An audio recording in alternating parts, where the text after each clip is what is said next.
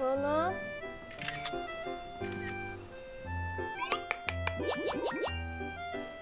나나. 나나. 아우 이뻐라. 아침이야 눈 떠.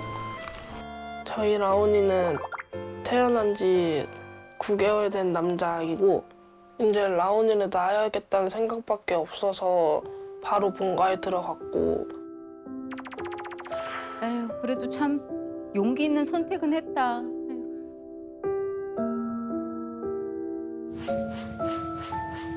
아이고 아유 애썼구나. 혼자 애썼네. 아유 정말.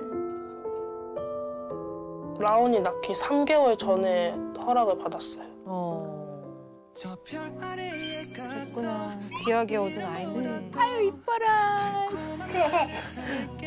웃는 것도 진짜 잘 웃고 라온이 앉아. 저에게 라온이는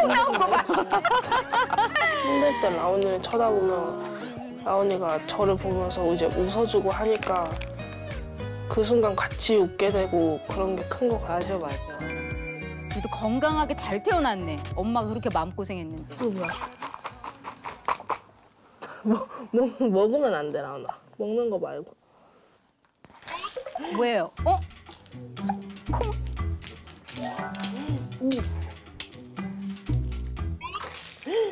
아하.